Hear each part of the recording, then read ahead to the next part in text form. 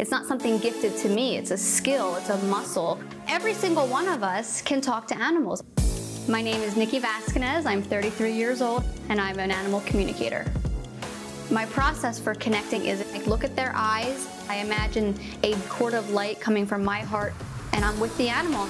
They talk about their entire life their food, their bedding, you.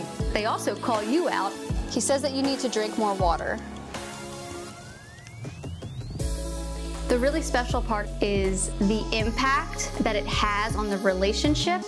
When you know that you really can talk to them, you're really able to enhance their lives. Animal communication can help worldwide problems by bringing more compassion to this planet.